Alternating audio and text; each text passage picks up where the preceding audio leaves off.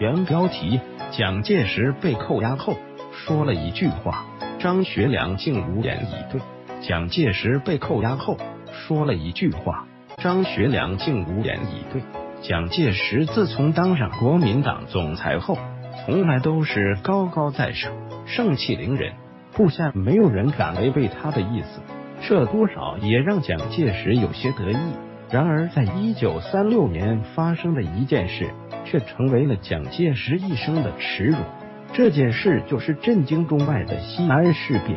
一九三六年初，蒋介石为了逼迫张学良对红军用武，多次电报催促，但张学良迟迟没行动。蒋介石十分气愤，便亲自飞往西安督战。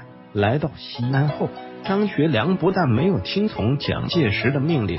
反而继续觐见蒋介石，希望他能停止内战，联合抗日，但遭到蒋介石拒绝。张学良眼看觐见不成，最终和杨虎城一起发动了西安事变，武力强行扣押了蒋介石，逼迫他同意联共抗日。蒋介石哪里受到过如此侮辱？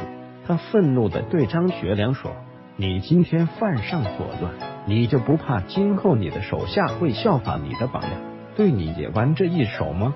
张学良听后竟无言以对。西安事变和平解决之后，张学良就被蒋介石软禁了起来。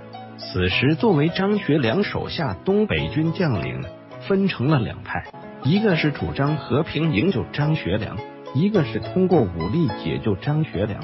主和派代表人物有于学忠、王以哲、可作国。主战派代表人物是孙明九，孙明九是张学良的嫡系将领，对张学良可谓忠心耿耿，曾经担任张学良随从参谋和卫队营营长。在张学良被蒋介石软禁之后，孙明九积极主张武力解救张学良，他和于学忠、王以哲等人发生了激烈的冲突，最终孙明九竟枪杀了王以哲。孙明九的行为引起了东北军其他高级将领的不满，纷纷要求严惩孙明九。孙明九不得不离开东北军，最终的后果就是东北军土崩瓦解。张学良苦心经营多年的东北军，最终以这样的方式退出了历史的舞台。